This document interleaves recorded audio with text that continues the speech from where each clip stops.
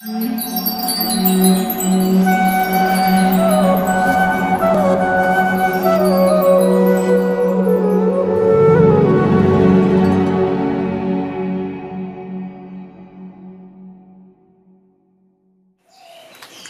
I thought we should start today by reviewing yesterday to make sure that we've understood and understood what we talked about yesterday and perhaps maybe get more clarity and more depth before we go further. So the way I'd like to do this is to ask you to share something that you remember from yesterday's class. And if you like, it's not working.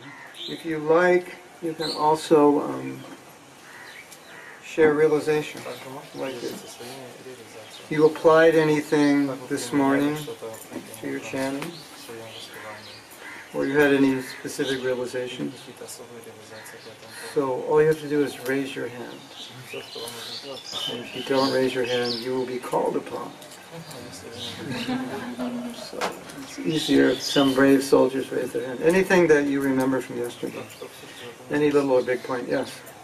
Uh, to me, the most important point was that uh, get often two times we get into more more of a process which happens in our relationships.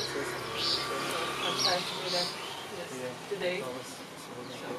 It worked? Yeah, until I remember. Yeah. Um, process versus relationship. So we, because our relationship with Krishna isn't fully manifest, we have to practice chanting in the proper mood because we don't always have the proper mood. So the practice is to be in the mood, to get in the right mood. That's what Patanjali says. Um, practice means concentration, focus, determination with the right mood. So we talked about that mood yesterday, which is chanting is a relationship, not a process. But we have to remind ourselves. When I was young, many, many years ago, maybe you had this experience when you when you're about to do something, whether it's a sport or if you're a salesman, you're going to go out and sell something, you're going to ski down a mountain, you're going to um, surf a 50 foot wave, you're going to climb a mountain, you're going to do something, you're going to give a lecture. Sometimes you know you're going to do well because you're in the right mood. You have that experience? You just feel it. You like you're in the mood, you know. You just know it's going to be good. Or you're in a band and you're going to play, and you're in the mood, and you know tonight we're going to blow the roof off this place because we're all in the mood. Right? So when you're in the mood, the right mood, when you chant your rounds, it becomes something similar. It just flows. But sometimes we're not in that mood, and so we have to. As weird as this sounds, we have to try to create that mood, evoke the mood, because we forget. So that's part of sadhana. Even though that sounds strange, part of sadhana is to practice the mood, because we may not naturally have it.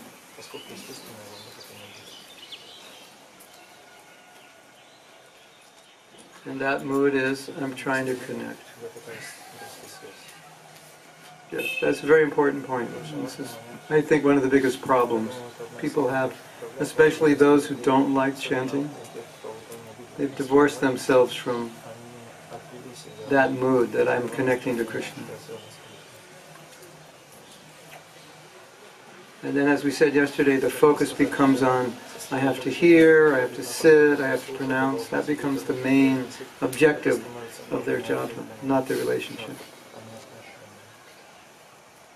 Those things can foster, but it's not the relationship. It's different. Did any of you else, any of you chant this morning in that mood? Relationship versus process? Did you try it out? Yeah. What happened? I was really imagined that he was sitting in front of me, mm -hmm. and it was really quite amazing. Like my focus was much stronger than mm -hmm. Good. Yeah, he is sitting in front of us. It's actually, you know, yeah, we have to imagine it. We have to imagine it, but it's actually happening. it's kind of funny. You know? That's just our condition, you know. It's like we said yesterday, you have to treat the deity as Krishna. Because you may not see that, but you have to treat him that way. So, okay, I have to imagine Krishna's here, this is the same. But the fact is, what we're imagining is what's actually is. Anyone else? Yes? I started chanting before I got into the temple, and when I sat down, I thought, ah, Kabir said you should try this exercise. So I stopped chanting and if the heavens not pleased, and I, I started seeing how I felt, and I, I was wondering, okay, well, I'm really in the mood to chant. And I was thinking, I wonder if that's just because you said I must do this. but it changed the, the, the two mantras I'd done before that. Afterwards, there was much more feeling. Nice. In, in Why do you think that? Just because you were, you automatically got in that mood. Yeah. Well, this is a really important point. This is a, a problem that I've seen is because chanting is a connection with Krishna. Sometimes we have a problem that when we begin to chant, we don't make any adjustment. Like, if, let's say you go on the altar. As soon as you go on the altar, your consciousness adjusts, doesn't it? It's like, okay, this is Krishna. And Prabhupada said, you know, we have to be very careful with this. We're on the altar, we're very careful. Right? There's a shift. That same shift is supposed to take place when we chant. Like, okay, now we're chanting. This is connection. This is Krishna. And one of the problems that devotees have, especially when devotees say, I can't control my mind, part of the reason, or a big part of the reason, is when they began chanting, they didn't make the shift. So normally during the day, our mind is, you know, they say 30, 40, 50, 60,000 thoughts. So if you do the math, that's like one thought every three seconds or something. So the mind, as we know, it's going very quickly uh, to many things. And so if we start chanting but we don't make a shift, usually what happens is nothing, basically. It's just the same thing. Nothing shifted. There was no mood shift. It's just the same thing, and then we begin chanting. So if you make a little shift that now this is like deity worship, I'm worshiping Krishna, the name is coming, relationship, and so, so forth. One of the things you find is you don't have so much trouble controlling your mind. And the reason, a lot of the reason we have trouble controlling our mind is we haven't made the shift, and the mind is used to just not being controlled. Right? Like when you're chanting your rounds, sometimes you may think of things that are not happening right now, things you have to do, or things not related to japa. Yes or no? Yes. Why does that happen? Because we haven't made the shift. Like when you're dressing the deities, are you thinking about what you have to do at 3 o'clock? Generally not. And if you do, immediately you'll catch yourself. Right? Actually, when the deities are present, the deities will catch you. Yeah, it's just so awkward to be anything but present with the deity. So if we take that same consciousness when we're chanting, then I'm with Krishna, there's a shift, and so your whole life just turns off. The reason our minds are so hard to control when we're chanting is because our life is still active. We haven't turned it off. We haven't made that shift. Now, think about what you do when you watch a movie and you really get absorbed in it. To get absorbed in a movie, basically your whole life gets shut off. And you're now in that reality, you forget your reality. Wouldn't it be nice to go into the Krishna Lila reality when you chant and forget this reality? Well, that's what a pure devotee does. They're not actually present in the space that they're in, they're present in the Lila. So obviously we can't do that fully, but we can do it a little bit by turning all these other things off in our life and begin chanting. So you don't have to be a great devotee to do this. You don't have to be some rasic devotee. But if you do this, you'll see your absorption level goes way up because you've turned off the distractions. And that's why we have to rewrite the Padma Purana to add the 11th offense. which is to have your phone on when you're chanting. Because your life is in your phone. And that phone is what binds us to this existence we live, right? Because everything is there, isn't it? Basically, our whole life is on our phone. So if you have your phone on when you're chanting, then you're very connected to your life, isn't it? So that's the 11th offense. You can write that. Tell your guru, I, uh, Mahatma Prabhu is bogus. He told us there's 11 offenses when there's only 10. Yeah, no, that's the 11th. Well, that's part of the 10th offense, distraction, inattention. But does that make sense? That, that if you leave things hanging in your life when you chant, those things will hang around your. If you go to study you go into a library, the idea is that in the library nothing else is going on. So you know, your friends may be going to the movie, having fun, whatever. When you walk into the library, you kind of forget that within a few minutes. You have to. That's what you're working on. So that's the same with japa. And this may sound simple, but most of the problem with the mind during japa is simply because we haven't shifted our mood and we've left all the lights on in all the rooms of our life. And if you just turn them off, you won't have so much trouble with your mind because the lights are off. And that's why sadhus used to chant in caves. so if you could kind of internally go into a cave, you'll find it much easier. So this is really important.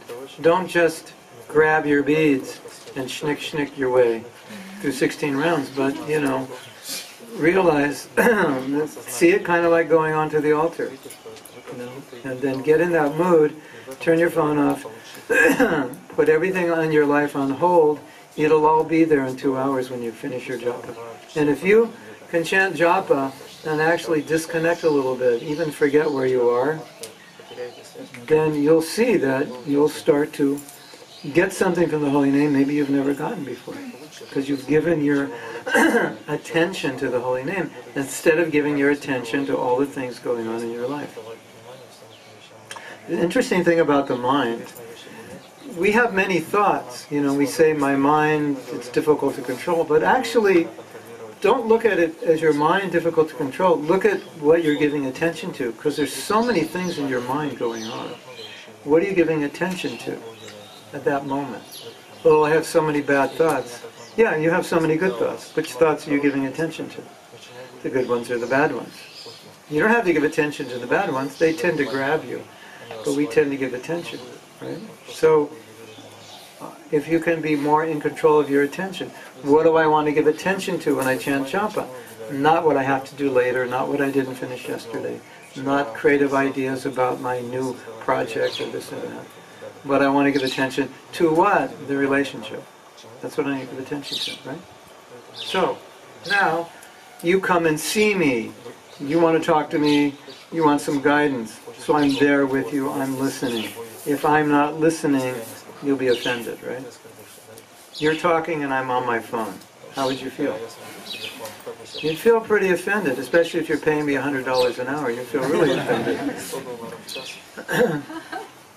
So one of the offenses is inattention, and inattention is described as giving attention to material things. So now there's Krishna and I'm not giving him my attention. So if you can just prepare yourself by removing the things that are not necessary for your chanting, getting in this mood of this is a relationship and beginning japa, you will see that controlling your mind is much less of an issue and you'll realize the reason your mind jumps around is because you you didn't turn the lights off. You left them all on, so your mind is just going room to room. So we have to do later in this project, and this devotee said something pretty nasty yesterday, and so your mind, your attention is just going one room to another. You know, you can curse that devotee after your japa, don't think about it while you're chanting. Hopefully you won't want to curse him after. But you understand, we have all these different rooms, right? Isn't it? So that's a really important point. And if um, if you just sit there with your beads, get into the mood, and then you feel, okay, now I'm in the mood, then do it. What will happen to you, This is one of the most amazing things, if you practice that, after a while you won't have to do that. Immediately when you touch your beads, you'll go into that mood. Like immediately, you just touch it. Touch your bead, and because that's the mood you create every morning, you'll anchor that mood in. And touching the beads anchors that mood in. Yeah? Wouldn't that be nice? Because you've worked on that mood, you're so much into this when I chant japa, its relationship, that as soon as you put your hand in your bead bag and you touch your first bead, all the lights just shut off automatically in your life and you're there with Krishna. Wouldn't that be nice? No effort. Well, that's what will happen, but you have to practice it. Because that's what japa is, right? If japa is just 16 rounds with all the lights on in your life, you're not going to really experience what, what the taste of the holy name is. Does that make sense? Yeah. So this is such, if you do this, you'll find it's so easy to control your mind because your mind has nothing, has no room to go to. So your mind will just go, okay. It'll say, your mind will say, turn some lights on. You go, no, not for two hours. And, and you'll, you'll get in this habit and after a while it just becomes natural. Is that good or good? You see, anything you do consistently creates samskars, creates impressions. Samskar is another word for habit. So if we consistently chant bad rounds, what happens when you put your hand on that bead? It anchors in all the bad habits of, of okay, subcon- you don't realize this is happening, but subconsciously when you touch your beads, you'll go into the mood you were in yesterday, the day before, the day before, the day before. And if that mood was scattered, you might, by touching your beads, become more scattered than you actually are. Because you've anchored in, that's how I chant. It's a habit. That's unfortunate, isn't it? You realize that happens sometimes? For some of us, it's, you know, everything's ecstatic kirtan, and we soon, as soon as I put our hand on our beads, our energy level drops. Oh no, this is really hard. You can see the body just go down. It should be the opposite, right? That you, you know, you put your hand in your bead and all of a sudden this energy comes and you look blissful and go, wow, this is really good. So if we can get to that point, then we create a, a program, and so as soon as we touch our beads, that program goes off. And the program is what, uh, that program helps us. Otherwise, the program is working against us. What we do at our japa retreats, which go at least five days, is we're reprogramming, reprogramming our japa blueprint. That's exactly what we're doing. We come in with a certain blueprint, and that blueprint more or less determines the level of our japa. Because the blueprint is like setting a thermostat. You set it to a temperature, and that's where it goes. So we have that blueprint. So we re- we're reprogramming it. So we come out with a better blueprint, and hopefully that blueprint remains consistent.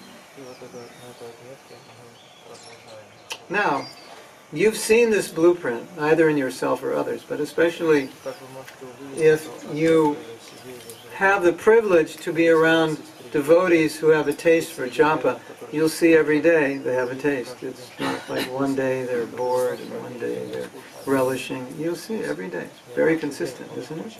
It's just that's their blueprint. Does that make sense? Yes. много преданных, у которых есть наставники, и эти наставники не могут отключить телефон во время джапа, или доктора, как им быть? Uh, some devotees who have who do some uh, important service, like for example doctors or counselors, and they cannot turn their cell phones off during the japa. What they should do? What they should do? Um, um, oh, what they should do is they should have other doctors. Each, each you know doctor takes one day, so at least you have six days peacefully, and one doctor takes all the calls one day, so everyone can chant. Yeah. And if you're a counselor, no crises before 7 a.m. You know, if you had a job as a counselor, you wouldn't work before 7 a.m. I mean, unless it's suicide or something. Yeah, a lot of doctors do that. They go on vacation and they, another doctor takes their place. As far as possible, you want to create that space where you're not disturbed. Because you see, if you allow yourself,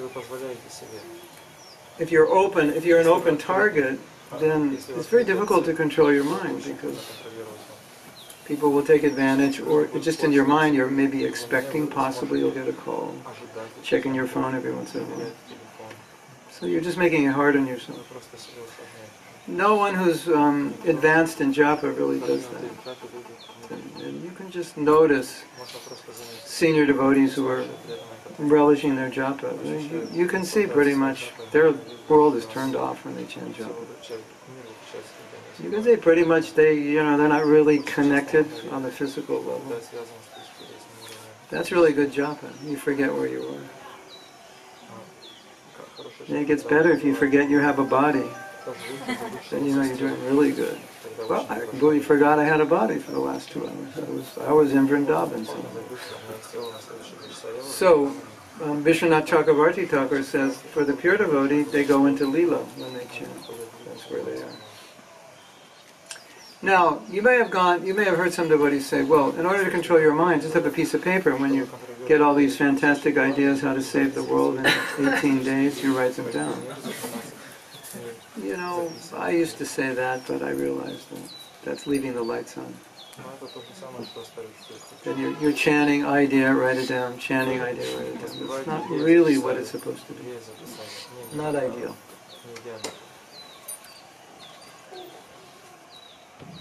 Yes. Yesterday you explained that we should put the hand in the deep bag, but no, no start chanting. Yeah. I did that this morning. What happened? Uh, I feel thankful to Lord Chaitanya that I can chant in the Holy God, Holy Name. But then I messed it up. Why? Because you said also that we should invite Krishna to come with us, walk with us. I started to think that. Then my mind started to think, how would Krishna the road here on the bumpy road? Why would he go? And I said, forget that. And I started to chant. How can I Oh, how can you do both? Uh-huh. Well, I'll give you a little tip. Chanting is, um, it's really a prayer. It really comes from the heart. So sometimes we teach devotees how to pray when they chant. And then they're chanting and they're thinking, am I praying properly? Say, as soon as you ask that question, the answer is no, you're not. Because now you're observing. So as, as soon as you ask the how, you've lost it. Right? So it's more of a mood than a particular process. So, um, if you ever ask the question, am I doing it properly? How should I do it? Is this right or wrong? You've lost it. Because now you're just in your mind. And you've divorced from your chanting. So, um, I don't want to sound like a cult leader, but think less and feel more. That will help your chanting. This chanting is not, it's not a thinking process. Maybe you could think, wow, how amazing it would be if Krishna were here with me. He actually is, I don't realize it. See, Buddhism has a principle called mindfulness. And mindfulness is very interesting because mindfulness simply means to experience something that's happening that you may not have been aware of previously and allow yourself to be more aware of what's happening. Let's say, like you have a relationship with your wife, and by practicing mindfulness, you might be more aware of the affection she has for you in a way you've never been aware of it before, although it's been there. So mindfulness is like bring awareness to what's already there. So Krishna is already there, it's just bringing awareness to it. It's not like creating something new. It, it, is, I'm just not aware of it. So Krishna's with you when you chant, so bring more awareness to that. Not thinking how is awareness that he is. That was kind of what we were saying yesterday. Like Krishna is his name. Maybe we can't figure that out but we just have to bring awareness to the fact that it is and treat it that way. So it's more of an experience than an analysis. So as soon as you have to ask the question, am I chanting properly, the answer is always, no, you're not. Hare Krishna. Am I doing what Mahaprabhu said? No, he said that you should feel it. Am I feeling? Actually, I don't really have feelings. I don't even know what feelings are. What are feelings? I mean, I'm a man. I don't feel anything. That's the problem. So we're, we're trying to analyze analyze a relationship. I bet you can analyze it, you know, through Shastra and so on, but not the way we would do it in the conditioned state. So it's good to practice mindfulness and japa. Just become aware of what's already there. Like for example, these common devotees will say, well when I chant I don't feel anything. I always joke with them and say, well, how does that feel? How does it feel not to feel anything? feels pretty bad. Yeah, you cannot not feel, can you? So, um, I don't feel anything, to which I, I answer, just try to feel what is already there that you're not feeling. Because Prabhupada said, you can feel Krishna in the holy name. So the feeling's there, but my attention is not there. So mindfulness is to put my attention on what is. So allow yourself to feel the holy name. You don't have to do anything. You don't have to know any shlokas. You don't have to mentally adjust. Just feel it. Now, for a lot of us, that's way too simple. Prabhu, can you give me something more esoteric? Something more complicated than just feeling? No, but that's that's for some devotees. It's way too simple. Just just feel what I'm. Just feel it. Yeah, just allow yourself to feel Krishna's presence because He's there, right? And I'm not feeling. So bring awareness to that. It's quite simple. So we don't have to complicate it. Yes. Seems funny that we, you know, actually we have so many questions about Japa, but uh, you know, when you really observe, as, as the group mentioned, the movie, or if you stick with a person, actually, you don't write the thoughts down, you know, you don't think how I get focused, you just you focus because there's a relationship. So basically, what what you said, this is the, the only fix. You need to start working on relationships, and then all the thoughts will not come. It's, it's, simple. Yeah, it's very simple. That's why I have a problem when people talk about controlling the mind during japa. Because Bhaktivinoda Thakur said you can't. You know, okay, so Prabhupada said hear and listen, but to me hearing is a total absorption in an experience, a feeling. And so many devotees have expressed their realizations, express it in terms of feeling. And I've found that when you connect with a relationship and express the emotions we discussed yesterday, you don't have trouble with your mind. But if you try to battle head on with your mind, it's really difficult. Then your whole japa becomes a battle, and after 16 rounds, you're like, glad that's over. That was a tough fight. I actually heard four mantras out of 1,728. And I almost heard about six more hours of struggle. So then, if you do that, why would you want to chant every day? Because it's just a mind battle. So that is like, that's so 70s. you know, that was like tough, rough, tough 1970 brahmacharis chanting japa with their books in their hands. Hare, Krishna, Hare, Krishna, Krishna. Beat the mind, beat the mind, Krishna, Krishna, Hare, Hare. You know. So that's not really what it's all about. I mean, that might be there in the beginning for some devotees, but that's not really where we want to go. It's not a battle with the mind, because it'll exhaust you.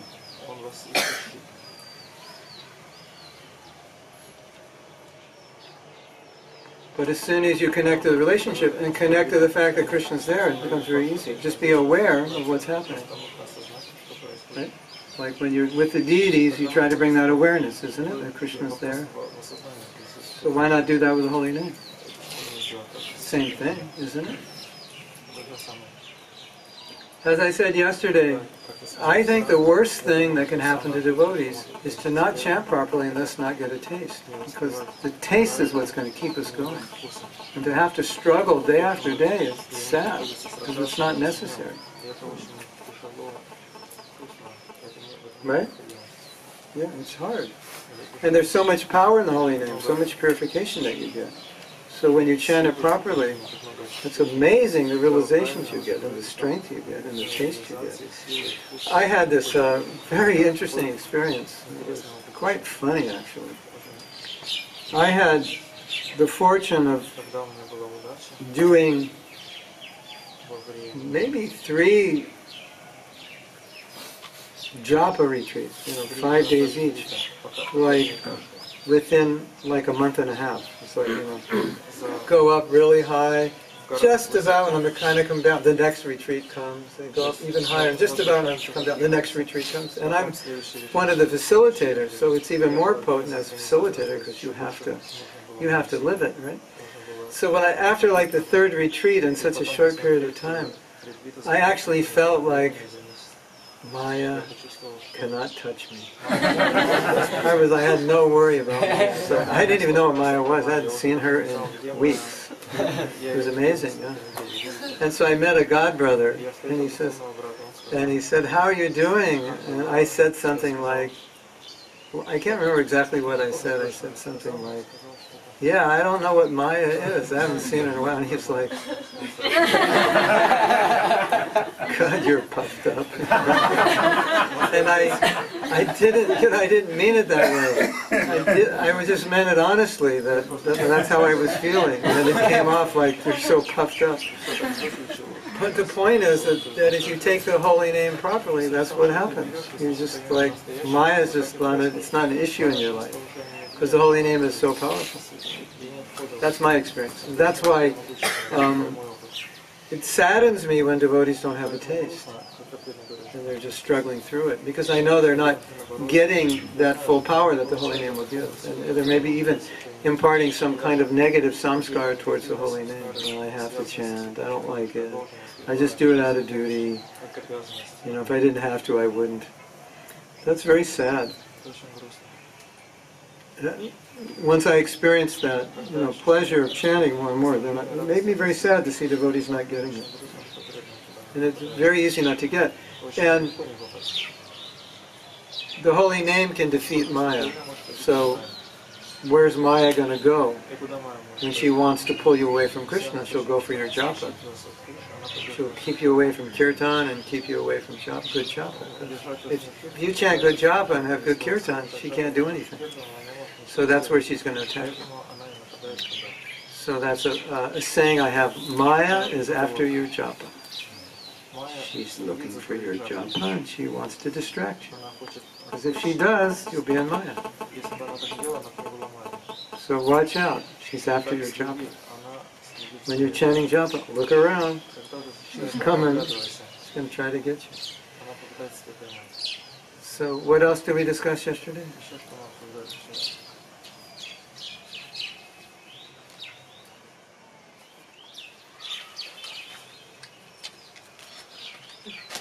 Actually, we didn't discuss anything. Okay, now I have to reveal for all of you who teach a teaching technique. We basically only discussed one thing, didn't we? More or less. Process versus relationship. Why do we only discuss one thing? I mean, I said many things, but they all supported one thing, because that one thing is so important. I really wanted you to get this, because if you get this, this job is going to be very easy.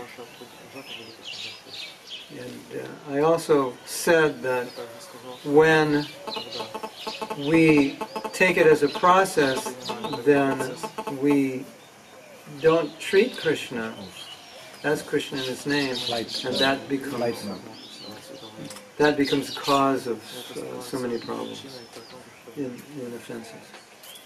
Okay. Any questions or any other comments that I made that you want to bring up? Also for the benefit of those who weren't here yesterday.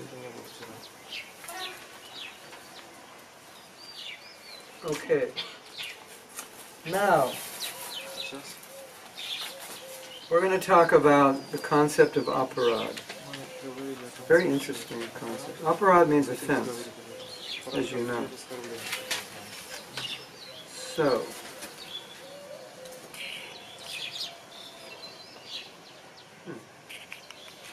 Now, first,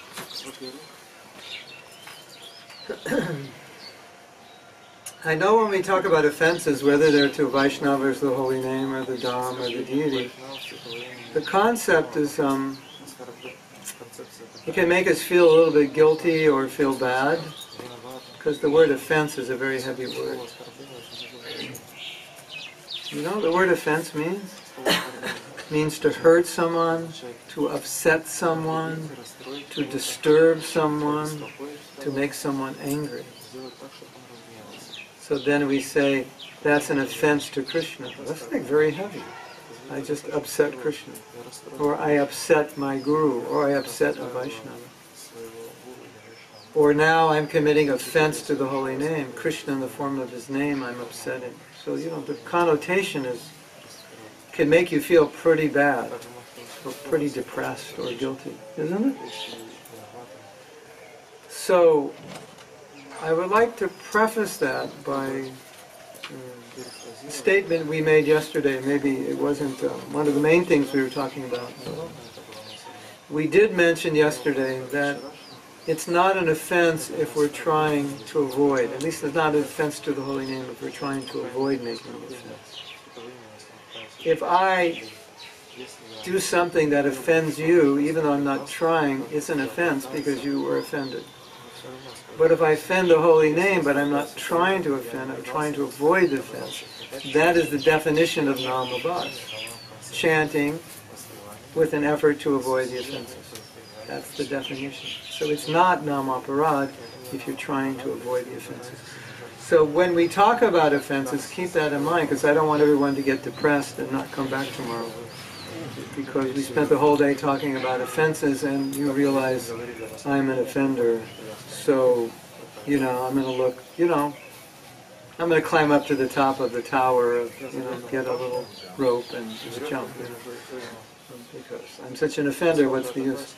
Um, in a sense, it's normal to be an offender because we're conditioned souls. But we can make an effort to avoid the offenses, and we may not be perfect in avoiding them, but at least we're trying. So I want you to keep that in mind.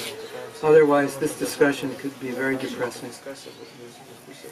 Why depressing?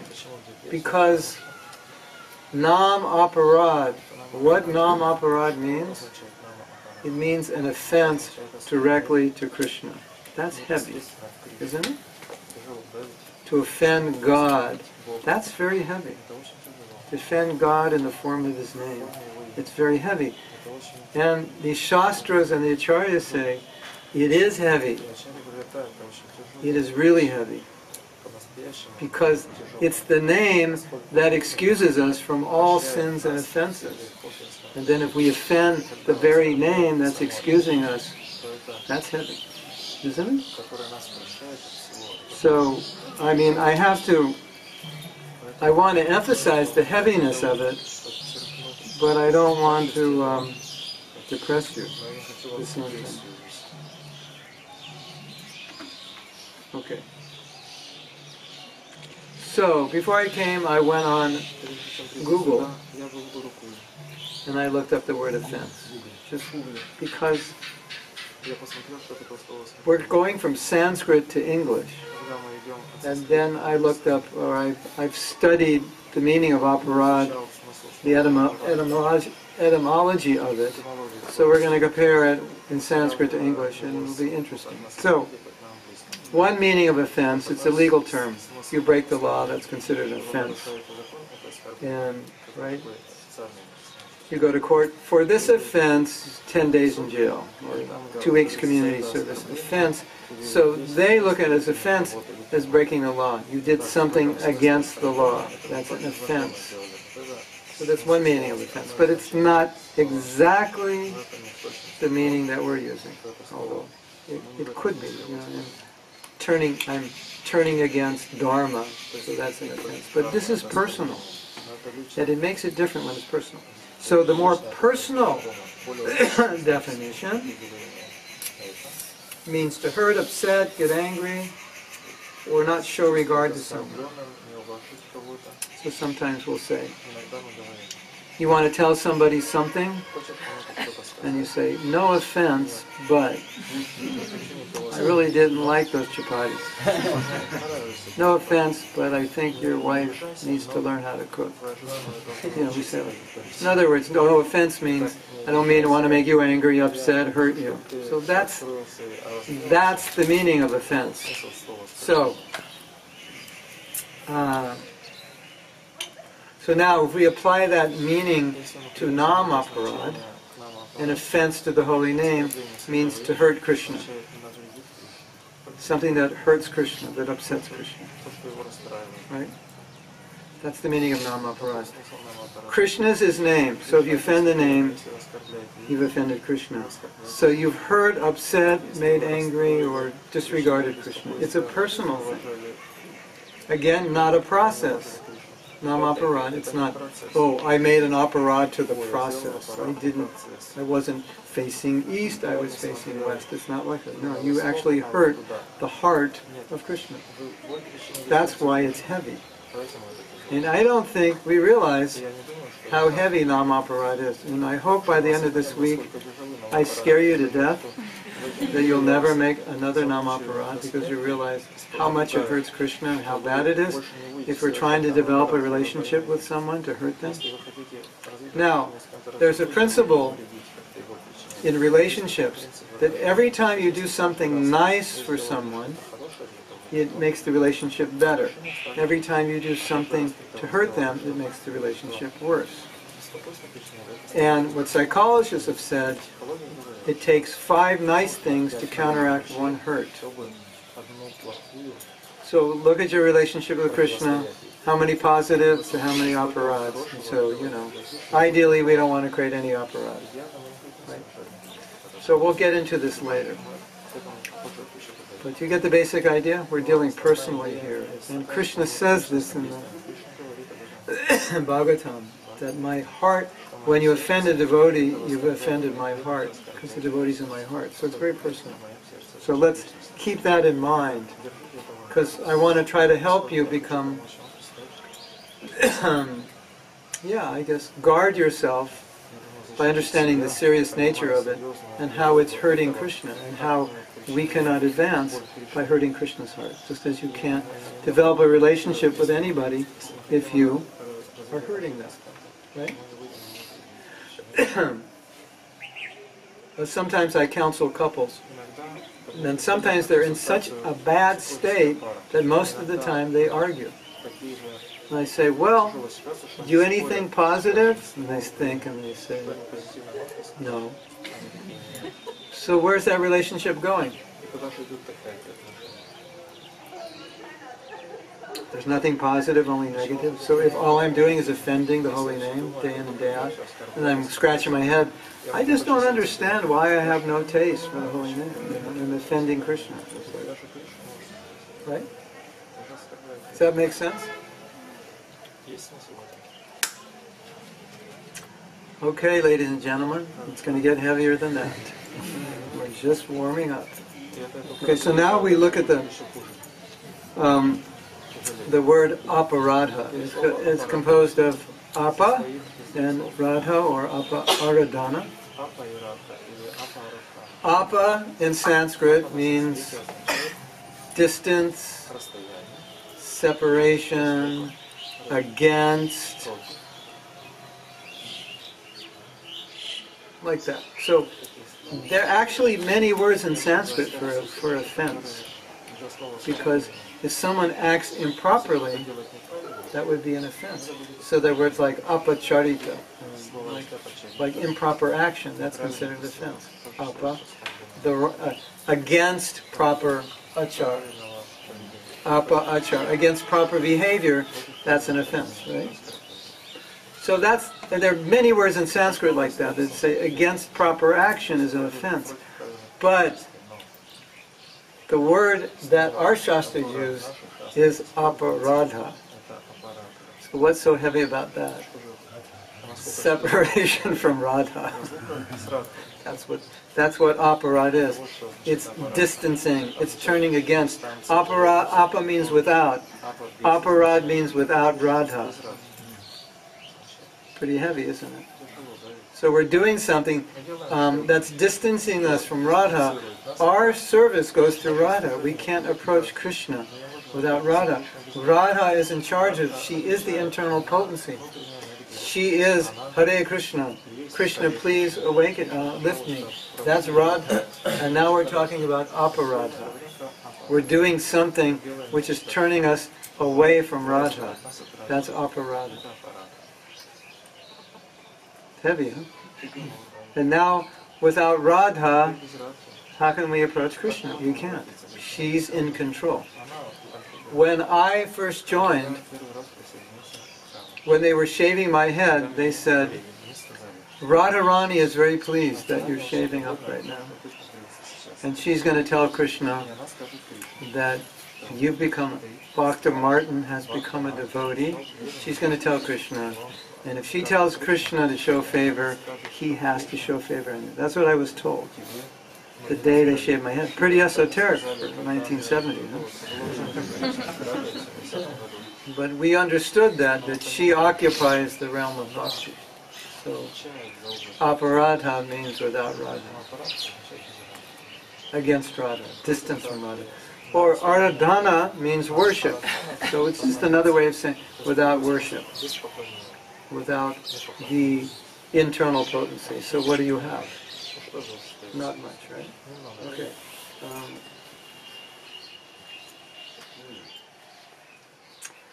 Um, I'll read something.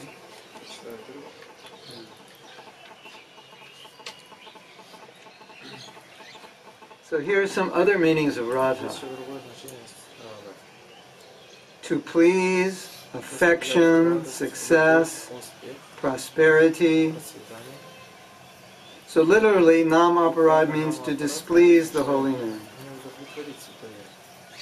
That's another meaning aside from distancing from Radha.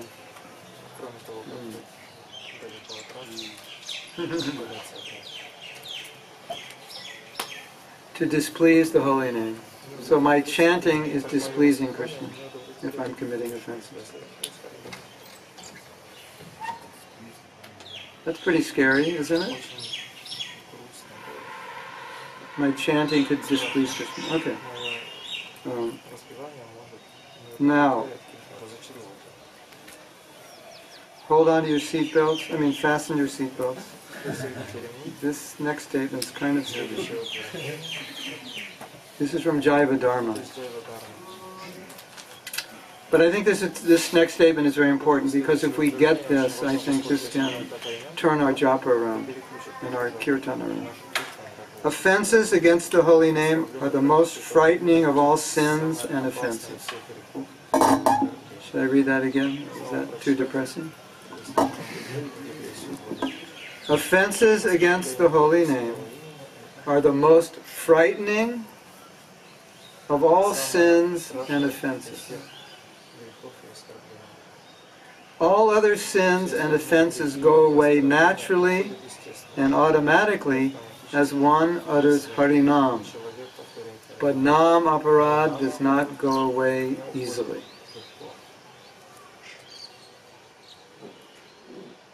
What does that mean? Someone like to explain? What did you just hear? Somebody tell me what you just heard. You cannot rectify Namaparad with chanting. Not easy. Because it's the worst offense.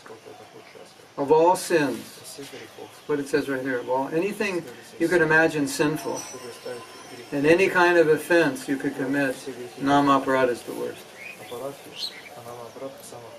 Because as I said before, that name is the thing that can free us from all offenses and sins. And then if we offend the very name that can free us of all sins, there is no greater offense. It's a direct offense to Krishna. Snik snik ram ram You should be very careful. Should I read that again? No. Let's have kirtan, right? We've had enough for today. I think this is one of the most important things that, that we're going to understand.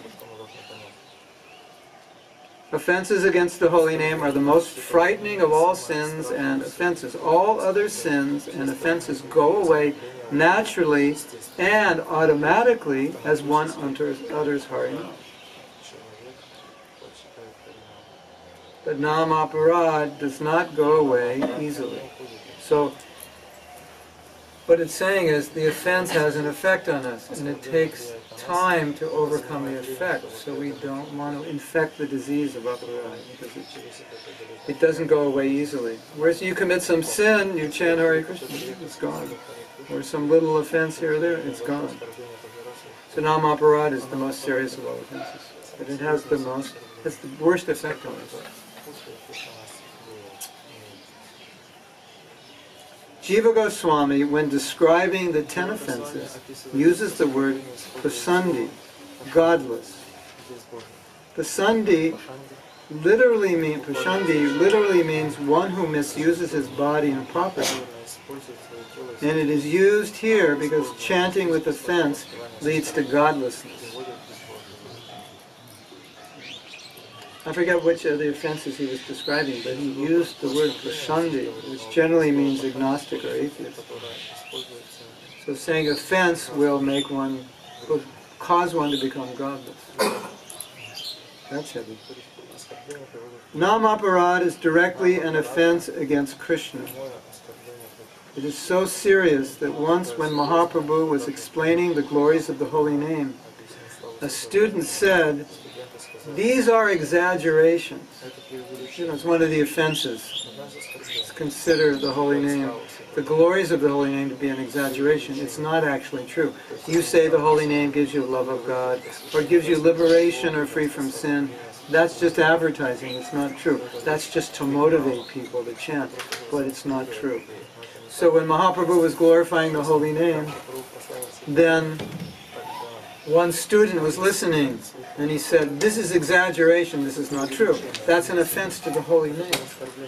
Immediately Mahaprabhu ran into the Ganga with his clothes on and took bath. Why? He said, Because I saw the face of an offender to the holy name. And he said, Anyone who sees this person must immediately take bath. That's how heavy. That's how he saw someone who offends the holy name. Then now I'm polluted. Oh Prabhu, I'm not going in the temple room tomorrow. There's a lot of operettas there. If I do, I'm wearing blindfolds.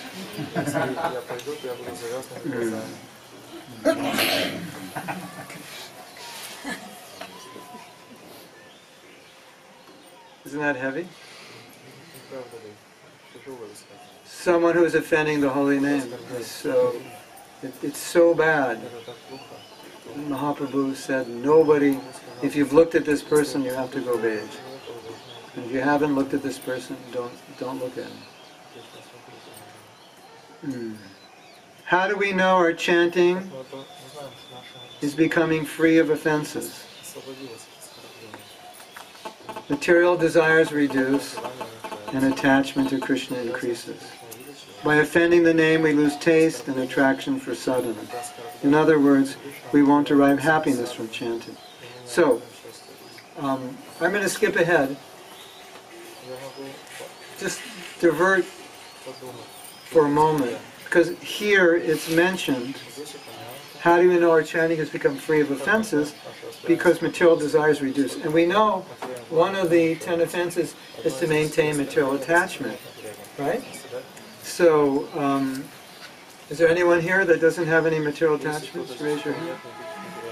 Okay, we all have material attachments, right? So does that mean we're offenders? Because we're maintaining material attachments. Well, it might appear on the surface that that's what it means. We have material attachments. So because I have material attachment and I'm still attached, I just bought a new guitar and I'm really attached. I just got my new mridanga and it's really good. I paid 2,000 rupees for it. Don't touch it. I just got my new camera. It's really good. I'm really attached.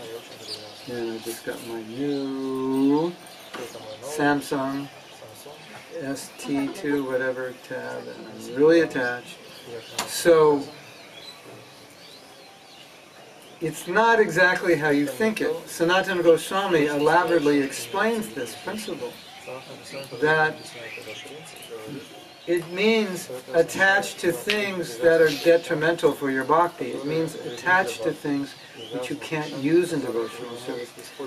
Uh, you have children. Are you attached to your children? If you're not attached to your children, we have to send you to a counselor. Something's wrong with you. You've been hearing too many classes by sannyasis, you're letting your children, you don't care anymore. Um, so it's natural to be attached. But so Sanatana Goswami says, attached in a way in which you fulfill your needs, but not more than you need, not more sense gratification than you need. Attachment in a way that's not an obstacle. So we're all attached, right? So that's not an offense to the holy name, but it's an offense if we're remaining attached to things which are detrimental, things we can't use in Krishna service. They're not good for us. That would be a symptom that we're making an offense or we've made an offense. So I just don't want you all, all to be depressed over the tenth offense, to maintain material attachment. Because we're all a bit attached, right? You attached to your necklace? Yeah, you are. It's a nice necklace. If I ask you for it, you won't give it to me. But that's Jagannath, so that's okay. Yeah. Found interesting that um, basically Bhaktivinoda Thakur, how he goes about it, in Harmony, he says offense is to think in terms of I and mine. That's offense. Yeah. Attached to the body, bodily conception. Yeah. So if you think it's mine, or you can say it's, it's Krishna's, then it's not at all. It's not. It's not what you possess or what you operate, but you ego. it's mine. yeah. Yeah. False ego. That's yeah. That's it. Yeah. Yeah. Because one of the definitions is to think I'm the body. Sometimes instead of saying material attachment, attached to the ego of I'm the body. Yeah. Possession, yeah. The ego possesses, identifies, it's mine. You know, one time Prabhupada showed his watch and he said, this watch belongs to Krishna, but if you try to get it from me, I won't give it to you. Because I'm using it for Krishna. Although there's this really amazing story. Prabhupada had a simple watch and then um, someone came and gave him a Rolex watch. So he gave the simple watch and then he put on the Rolex. And then right after that, or sometime after that, someone came and gave him a Seiko watch. A Seiko watch is a few hundred dollars. Rolex is, you know, five thousand plus. So he took off the Rolex, gave it away, and then put on the Seiko watch. So, that's okay. That's not breaking the tenth offense. Yeah. Um, the, the point is that as conditioned souls, we will be attached, but can we use those attachments in the right consciousness and employ them in Krishna service so they don't pull us away from Krishna? Then you're not committing offense. But if we're attached to something in either the wrong consciousness or to enjoy something beyond what we need, then that's the, that's the offense. And then that would be a symptom that our chanting is it's not being it's being done with offense. Is that okay? So um, I could say more, but why don't why don't we stop and see if you have any questions? Or, or does anyone on the internet? There are questions coming up on the internet. Do you see anything? Yes. I have two questions. Okay. First question is like among 10 offenses, well, we have now 11 with the cell phone.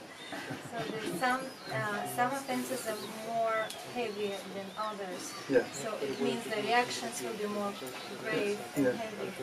So what are... What are the heaviest yeah. offenses?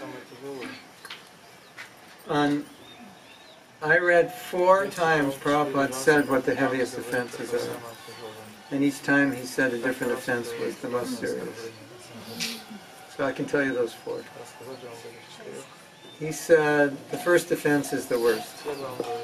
Because if you offend a Vaishnava, you can destroy your bhakti. Then he said the third offense is the worst. Because if you offend your guru, then you're finished. Then he says the seventh offense is the worst. Because to commit sin on the strength of chanting is more sinful than the sin you committed. And that's the worst. And then, just the other day, for the first time, I read the second offense. And the interesting thing, as we said yesterday, the second offense also means to think Krishna is different, his name is different from his body. So Prabhupada said that's the huge offense, to think he's different from his body. So those are the worst offenses. Second question. So from the history, from the stories of Chaitanya Charitamrita and other examples, we can see that one offense leads to another. It's like a snowball. It becomes practically a person falling down and down. And only like special mercy of Krishna needs to pull him out or Yeah. some pure devotee. So what is like, for example, in our case, because usually like if you reach Chaitanya Charitamrita, that's a special jivas, they give us example like Lord himself helps to this, about us, how, How we overcome the offenses. yeah, sometimes it just, when person commits offense, he doesn't realize because, uh, Mhm. Okay, um, it's a good question. How to overcome the offenses. There's something that you may not know. You know, every morning we pay obeisances to all the devotees. Well, we didn't do that in the beginning of the movement. And every time, in the beginning of movement, like, there was like one sannyasi. Then in 1970, Prabhupada made like four sannyasis. So that was kind of, it's kind of an unusual thing for us. All of a sudden there were sannyasis. Aside from Kirtanananda, he was the first. Now there's four sannyasis. So we're told we're supposed to pay obeisances when you see a sannyasi, and if you don't, you have to fast that day. So I'm not that humble, but I like to eat, so I pay my obeisances. so um, you know, so you see them going in the temple, pay obeisances. You see them coming out of the temple. And there's another one coming down the street with obeisances. So it was awkward for both the devotees, and especially for the sannyasis. They, they felt embarrassed. Everyone's paying obeisances. So they asked Prabhupada what to do. And Prabhupada said, okay, well, we can just have in the morning one, at one time, we'll pay obeisances and we'll cover it for the day. And then Prabhupada said at that time, he said, when you, after you recite the prayer, he said, you should pray, my dear Vaishnava devotees, if I have committed knowingly or unknowingly any offenses, please forgive me. At that time, you just clean the slate every day. Just wipe it off. And when you go on the altar, you do the same thing. So after you finish your rounds or before, you can do the same thing. My dear Lord, if I've committed any offense, please forgive me. Now,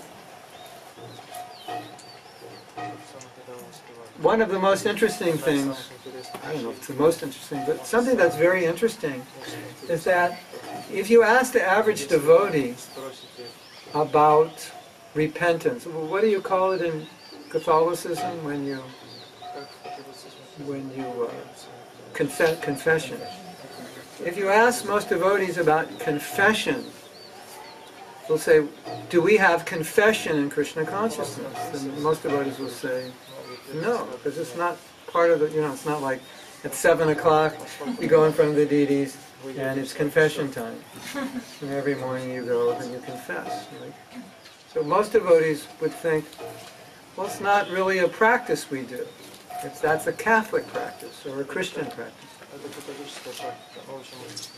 But it's not actually true. It's in Nectar Devotion. Under, I believe it's under the title Submission, and it talks about a devotee going in front of the deity, confessing all his sinful actions, all the sinful things he did. And he said, I'm embarrassed. He prays to the deity, and I'm embarrassed to tell you all the sinful things I've done. And that is a process of confession. So Bhakti Vinod Thakur says, to become free from the offenses to the holy name, we should ask, we should confess, and with remorse, ask the holy name to forgive us. In chant, in remorse, which I think is significant, because it does say to become free from offenses, we should chant. But Bhaktivinoda Thakur there, there adds that we should chant with remorse. Because how will you become free from the offense if you chant with offense? So there has to be some remorse. So that's the process of repentance. To overcome any kind of offense, there must be remorse, asking forgiveness, and then rectification. So how can you ask for forgiveness and then continue to offend the holy name? It's not right. So if you want to feel remorseful, it's very powerful. So Bhaktivinoda Thakur said, we should feel remorseful. Krishna, I've offended the holy name. I've offended you. I feel bad. We should feel bad. If we don't feel bad, we should feel bad if we don't feel bad, that we don't feel bad that we offended the holy name. Should I say that again? We should feel bad if we don't feel bad that we offended the holy name.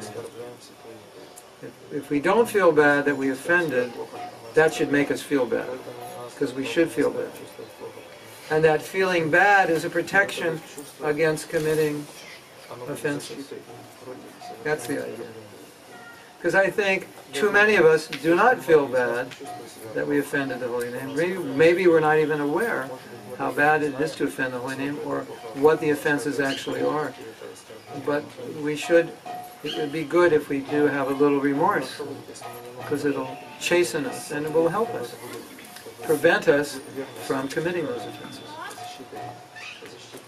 So now every morning you could ask for um, forgiveness from the Vaishnavas, from the Holy Name, from the Dham, whatever you want. That's always good. That's humility. Is that okay? Is that more than okay? Someone else had a? Yes. In these 35 years where I Yes. I must have created a huge. Yes. But on the other hand, I have the opportunity to stay So, How is that? Because you're trying to be Krishna conscious. And because you're trying, it's not counted as an offense. And you're, be, you're being also purified by that effort to want to counteract those offenses by being better. It's your, your sincerity is the thing that's saving you. And Krishna sees that. what should I do that I don't really trap I think, oh, good, Well, that's a good question. I'm going to give a very simple answer. This answer is so simple that everyone misses it. And you're going to think, when I give it to you, that I don't miss it, but we do. If I commit offense, it doesn't please Krishna. It displeases him. So let's say my offenses are small, and I think, well, my offenses are not so big, and I, I'm still living in Mayapur, Mahaprabhu hasn't kicked me out, I have service and so on. So everything's fine. But then we have to ask the question, is my chanting pleasing Krishna? And that's the whole point of bhakti is to please Krishna. So it's not, it's like, you ever seen the t-shirt? What can I get away with and still go to heaven? What can I get away with and still go to heaven? Like, what's the least I can do and still go to heaven? So, you know, we don't want that mentality. The, the, the simple point is bhakti means to please Krishna. So it's not like, oh, well, I'm okay. But is Krishna pleased with what you're doing? And a lot of times we don't think that way, isn't it? My chanting's good enough, you know, I'm, okay. Well, is Krishna, is Krishna pleased with it? My service is okay. Is Krishna pleased with it?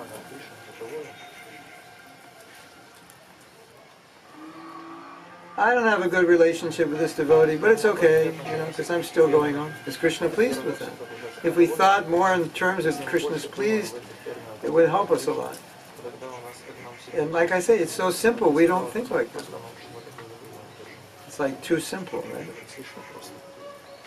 One devotee was having a problem. Uh, said, I just can't forgive somebody. So she said, I'm going to speak with Bhakti Vidya Purna Swami and get his advice. I said, well, you know, I teach forgiveness. I'd like to see what he said. She comes back, I say, what did he say?" He said, you should forgive because it pleases Krishna. Like how simple is that? And is there any better reason to forgive? Is there any better reason to do anything? Like, no.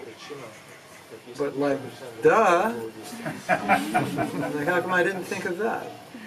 I this big problem I can't forgive, you know, five years going through my mind, you know and then I get one answer.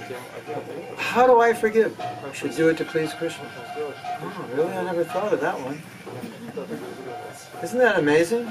The, the solution to so many of our problems is just do it to please Krishna. I, you having counseling for you know months, and I don't get it. If I just get that, then does that make sense? Yeah. So it's not like how much can I get away with mm-hmm. and still go back to Godhead? Like, like what's the minimum? Guru Maharaj, what's the minimum? Do I have to do this? Do I really have to get up early? Do I really have to do, you know, good rounds? Do I really have to read every day? I, want, I just need to know the bare minimum. Get through the gates. That's not the mood of bhakti. It's what can I, Guru Maharaj, what can I do to please Krishna? That's the question. Isn't it? Yes? I have a question. Yes. Yeah. so just now, as you said that uh, we have to forgive. So even if we have forgiven them without even asking forgiveness, so what about how to forget that incidents that happened with so many devotees? you and whenever we see them, it, all things come up on the mind. And how to forget that incident then? Because Krishna is so beautiful. And he's has so many amazing qualities. And his pastimes are so wonderful. And his incarnations are so wonderful. Leelas of his devotees are so wonderful that you'd rather think of that than think of that how much that person hurt you. That's how you do it. And you make that decision. Do you want to think of this person and how much they hurt you for the rest of your life? Because you only have so much space in your mind and heart. So when that uh, that person occupies, then there's like no room for Krishna. Think of Krishna. No. Can't stop thinking of this person. There's no room for Krishna. Thinking about them. You don't realize what they did to me. You have no idea. We cannot let this go. This was unjust. This has to be rectified. How long you been thinking about it? 21 years and still no justice. So at some point in your life you're going to have to realize that if I do that, that person is, occupying my whole existence, and there's no room left for Krishna. You know another thing which Mahaprabhu taught. He taught that the heart is a sacred place. And you have to be very careful what you allow into your heart because the heart is where Krishna is supposed to sit. And if you bring all this junk into your heart, then Krishna can't fit in there. He doesn't, or he doesn't want to come. Either there's no space, or he doesn't want to come because it's so dirty. So, you know, you want to think of that person and how bad they were? Or do you want to be a humble Vaishnava? Now, here's some more bad news. You've probably heard the bad news before. One of the offenses, which we'll discuss another day, to a devotee is when you see them, you go, oh, there's so-and-so. Hope they don't see me. That's an offense. It's described in the Skanda Purana. You see another Vaishnava, and, uh, and you're thinking, oh, God, that devotee. That's an offense. That's a Vaishnava aparad. Then you're not happy to see that devotee. And you don't even have to see that devotee because that devotee lives inside you. So it's like one, you know, resentment is like one constant Vaishnava aparad relentlessly, isn't it? What if this devotee creates some problem for you, harassing or something, and you're supposed to be happy to see? Well, we can broadly define happiness. Well, there is a way around this. You say, because of what they did, they're not a devotee. So the fact that I'm angry with them is okay because I'm not angry with the devotee. Now, that sounds funny, but it may be true in some cases. So, um, uh, you know, if they're engaged in devotional service and uh, they did something horrible to you,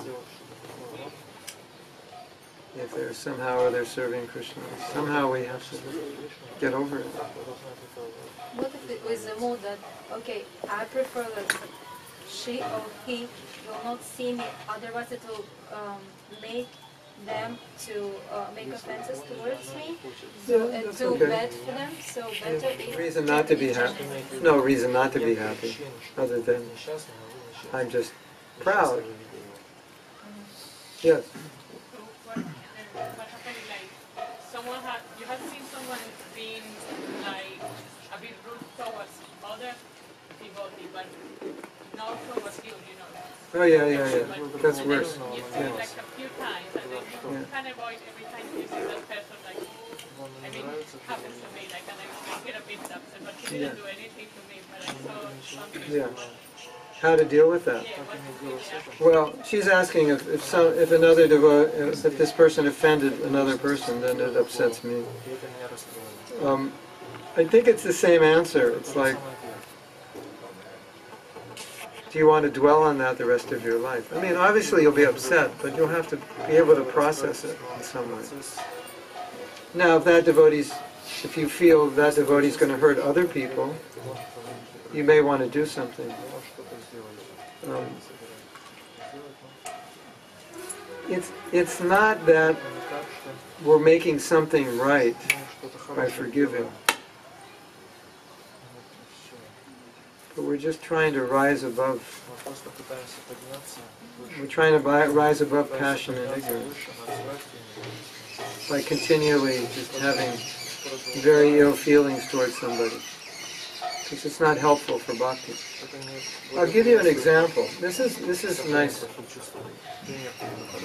The other day I was saying that there's Vaishnava aparad and there's Jana aparad. Jana means person. So it's actually considered an offense which is detrimental for your consciousness to offend anybody, not just the devotee. Um, and Shastra says to offend another person is a sin, so sin's a contamination, so a contamination will hurt us. Now, Jiva Goswami says something about charity, about giving charity just to ordinary people. Like somebody's hungry and you feed them, or you give them some clothes or something. So sometimes we think as devotees, well, it's mundane and we shouldn't do that. And Jiva Goswami said, if you give a poor person clothes or food or something, it may not be considered bhakti. He said, but it's good for your bhakti because it softens your heart, and if you don't do it, your heart becomes hard. Isn't that interesting?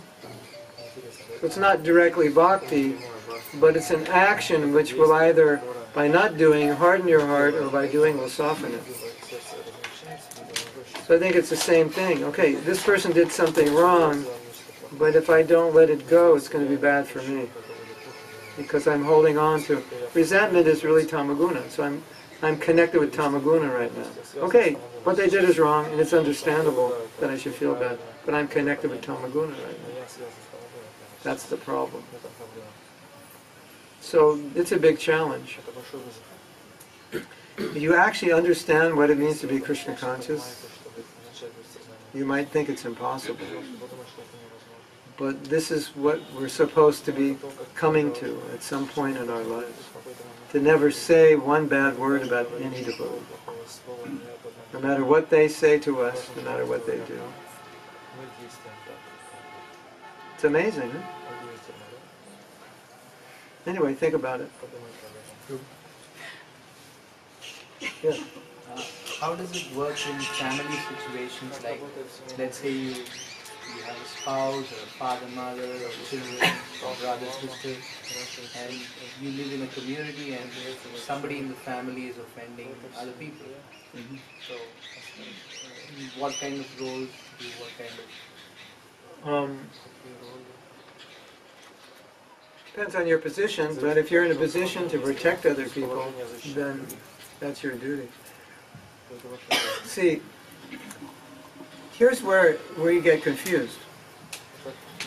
In, in the situation you're presenting, let's say your mother is creating a problem for your wife.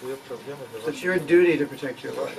It's a sensitive situation because you're supposed to respect your mother, but you have to protect your wife. Right? So if there's no vengeance towards your mother, there's no resentment, there's no anger, there's no hatred. So a devotee is meant to resolve these issues without descending into the lower modes of nature. So he's staying sattvic, which means shanti shanti, peaceful, humble. But at the same time, there's the dharma that I'm the husband, I have to the wife. So the problem is that a lot of times when we look at a situation, we think we have to descend into the lower modes to deal with it. Can't be humble and deal with this because if you're humble, they'll push you over and like that. But, but that's not true. Maybe it's a false definition of humility. So the trick is to do what is dharmic at the same time not descend into the lower modes of nature. Do it in a sattvic way. So you have to, you know, explain things to your mother that this is not working, and we have to respectfully ask you not to do this in a humble way, without, you know, with affection. So we're not used to doing that. We're used to kind of giving up that mode and just fighting fire with fire. Obviously, that statement doesn't apply to devotees because we fight fire with water. We fight passion and ignorance with sattva When you try to fight it with the same guna, then everybody descends to the lower modes. You know, fight fire with fire is probably more of a military application. But it's not really a Vaishnava application. Fight fire with water. Fight fire with a fire extinguisher. That's your compassion, your kindness, your understanding. General. Unless, you know, unless we're dealing with the outside world, sometimes we have to be as aggressive as they are. But amongst Vaishnavas, we're supposed to fight fire with a fire extinguisher, not with fire. Yes. It's a question on the internet. Okay. How do we get to the place where we want to please Krishna sincerely rather than of ourselves? Um, How do we get to the place where we want to please Krishna sincerely, rather than please ourselves? It, remember, I think it was yesterday, I was saying that, uh, no, no, it was two days ago, Sunday night we were giving class, and we were talking about what sincerity means, and sincerity means to serve Krishna for his pleasure. And so one devotee was saying, I don't think I was sincere when I joined. I think I joined to get something. And I was saying, we all join to get something, but after a few weeks in the temple, we learn that that's wrong. We learn that we're supposed to please Krishna. So in the beginning, it's more of a theory that this is what I'm supposed to do. So we, just think in terms of, is this going to please Krishna or not? Not that the heart's there, but the understanding's there. What was the question? How do I get to the point of being, yeah. You get to the point of doing, of, of getting there by first doing it, even though it's not natural. And that's Vaidhi sadhana bhakti. You do things that are not natural. Okay, I'll do this because it pleases Krishna, and I don't really want to do it, but I practice it. That's Vaidhi. And then the taste comes. Every morning when your alarm goes off, the first thought should be, if I get out of bed now, this will please Krishna. I don't want to get out, but if I get out, Krishna will be pleased. Do you realize, ladies and gentlemen, that back in the day, maybe you've experienced this, in some ashrams, there was no hot water. The hot water knob was unscrewed and you could not get any hot water. And these are in cold countries. And you'd have to go in there in the morning and think, this cold shower is going to please Krishna. They interviewed a monk. 25 years he takes a cold shower every day. So they interviewed him and said, so we've heard, every day of your life, every morning you take a cold shower. How is that? He says, that's true. Every day for the last 20, he's a Buddhist monk, every day of the last 25 years, I've taken a cold shower and I still hate it.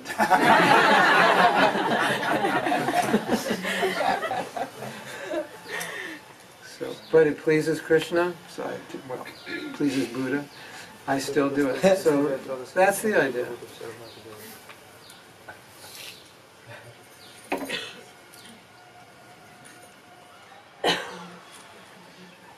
Last verse of Shikshashtakam. Uh, in the purports there, following that verse, what is said?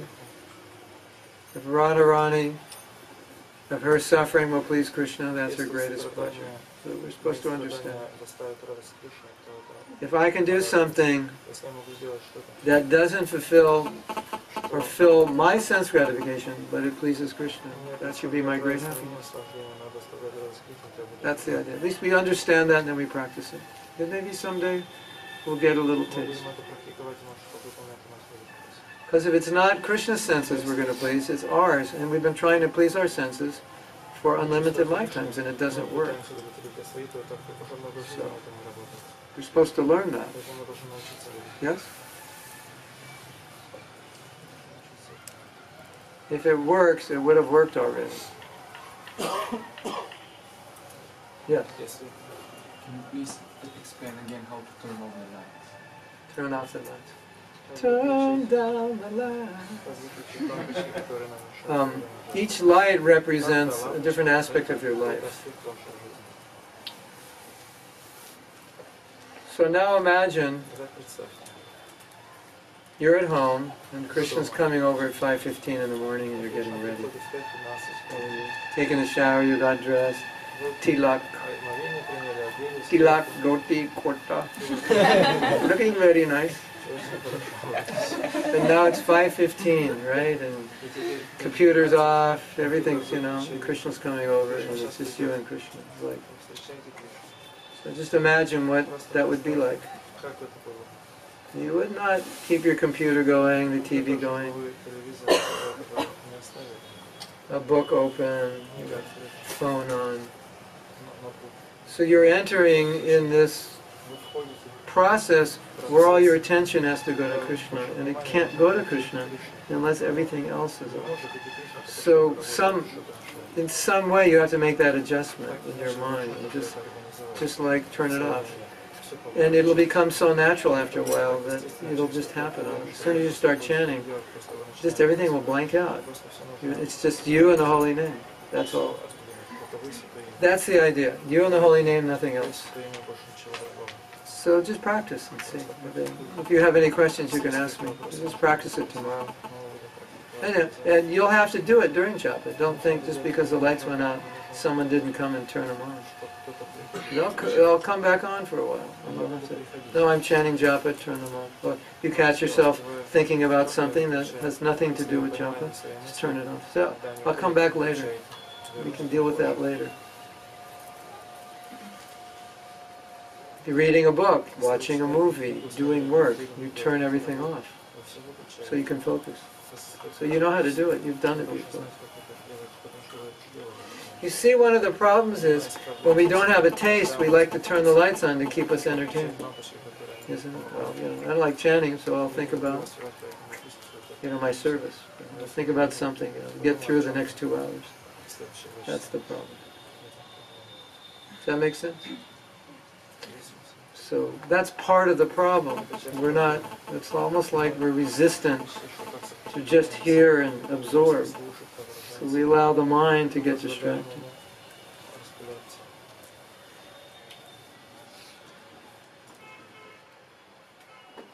Yes. Can you please tell some tips how to uh, help the kids to chant with japa? Oh, that's easy. That is so easy.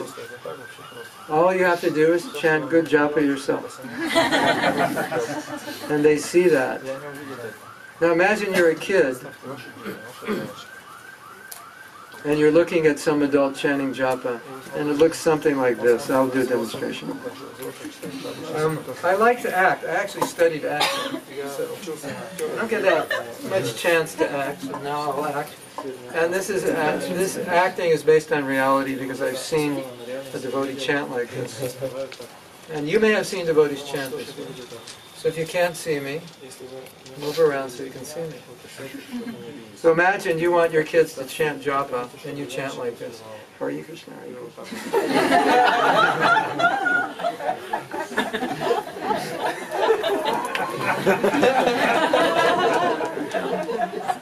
Have you seen devotees chant like that?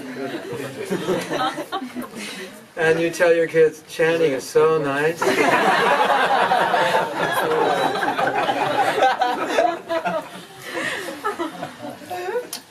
um, you know, and I, I did two things with my daughter. I would share my realizations from japa. I never asked her to chant. I would just say, I just had a really good japa this morning. I want to share what I was experiencing. I'd always share. And then sometimes I would say, can you chant with me because you inspire me when I, I try to get her to I like to chant with you because I get inspired. My rounds are better when I chant with you. And then I'd get her to chant with me and I'd say, so what are your realizations? So she's thinking, okay, I'm supposed to have some realizations. I better chant better because I don't have any right now. So it was, you know, it's all positive. But I, I think um, example is, you know, you're chanting every day, you're relishing it, you're talking about how sweet it is. That, that's the best way. But, you know, I call that other chanting constipation japa. It looks like a person has constipation. Basically, he looks like he can't get it out. And I'm sure we've all seen people chant that way. Can you imagine you brought some new person to the temple and all the devotees were chanting like that? They'd run out of the temple.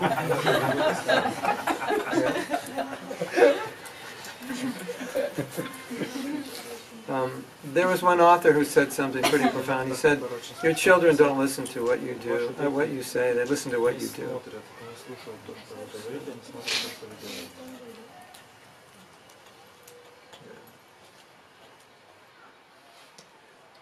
You, you know, I don't know if you realize this, but when Prabhupada started the movement, because there were no other devotees, the only way people became Krishna conscious, it was like Prabhupada was bigger than life. He was all of ISKCON.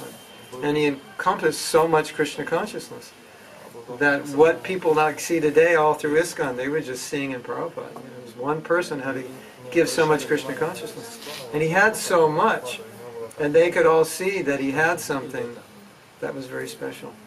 And they wanted it. They didn't know what it was, but they could see he had something and they wanted it. And that's why they became devotees. So if your kids can see you're getting something from your japa, let them know what you're getting. Then maybe they'll be interested. Say, I just had this amazing experience. I can't even explain it, what it was. I can't even tell you. Don't tell me, tell me. No. I don't think I could. It's too amazing. You're going to have to experience it yourself. Then you can see, every kid is different. So,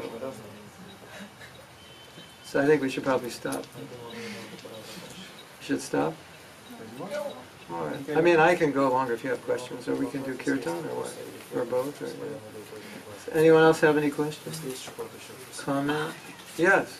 This might be a funny or stupid question, but I still have it because I, I had experience living in an ashram temple.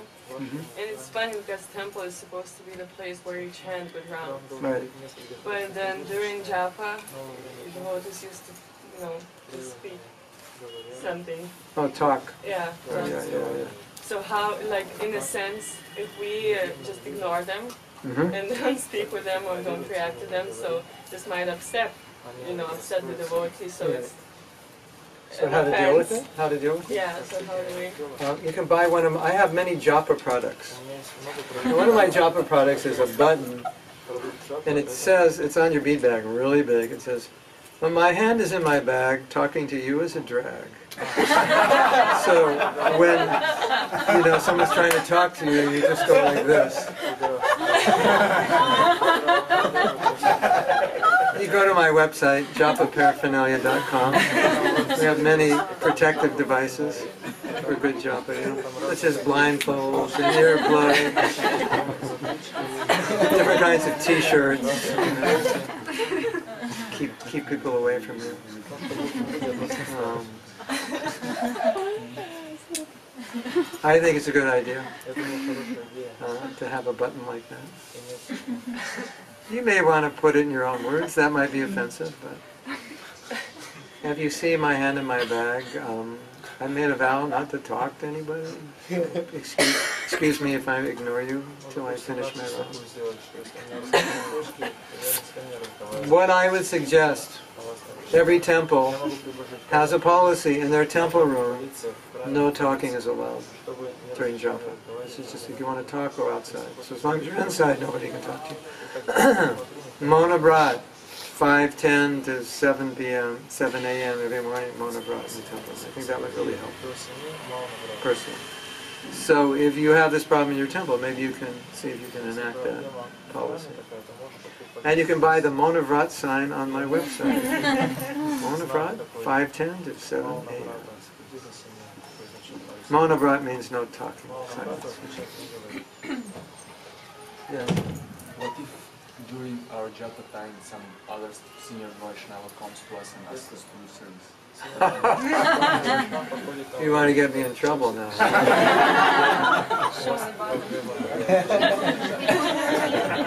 he wants to know if you're chanting japa and some senior Vaishnava comes and asks you to do service.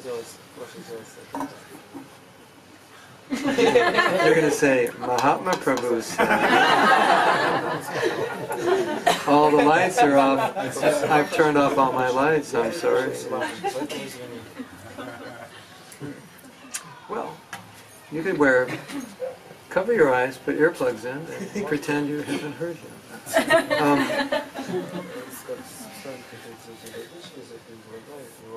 But we're asking for service when we chant. yeah. We're asking for service after seven.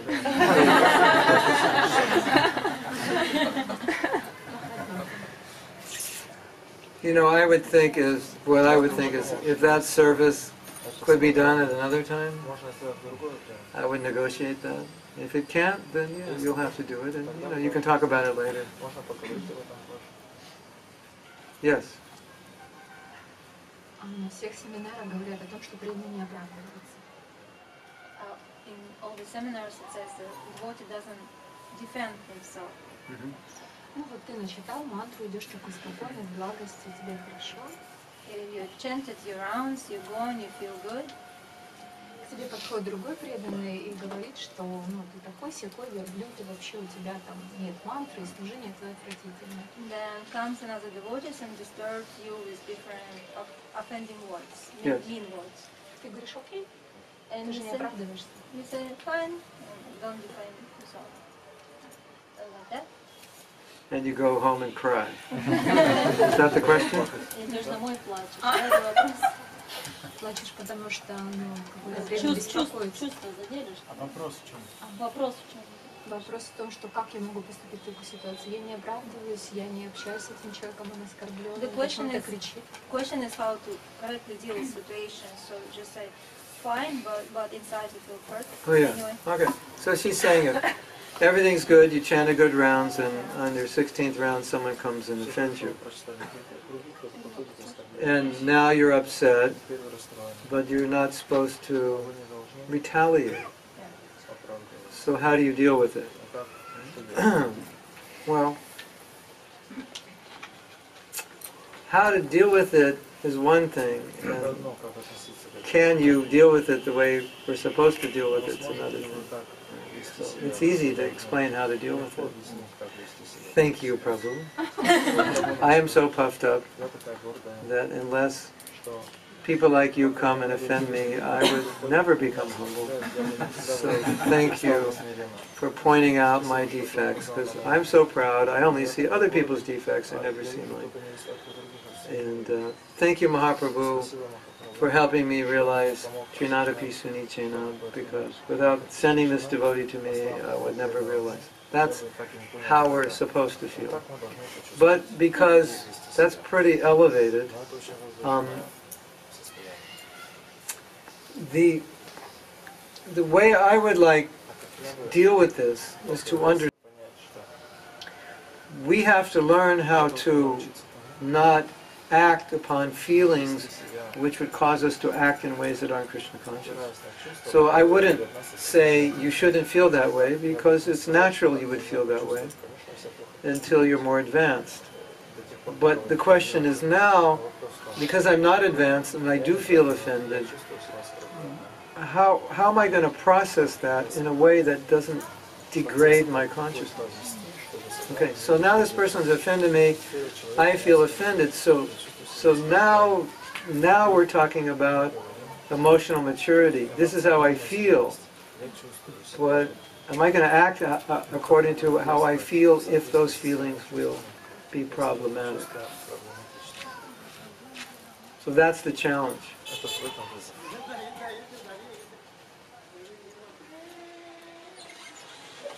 So what's what you want to look at it this way. Devotee A did something wrong. And now I feel bad. Is my reaction going to be on the same level as devotee's action towards me? In other words, am I going to allow devotee A to degrade my consciousness because of the way they acted? That's the problem. So, you know, the saying, two wrongs don't make a right. So that's the challenge. Like, you know, you could say, well, I feel bad and I'm justified in how I feel, and I might even be justified by retaliating. For in the material sense, yeah, you would be justified. But spiritually, you're just degrading yourself. So it's not helping you. So, the way I personally look at it is that when those things happen, I always think, I'm in the material world, and this is what happens here. And if I don't like that, I should go back to Godhead. That's how I think. Sounds funny, but it's true. Prabhu, this happened and that happened.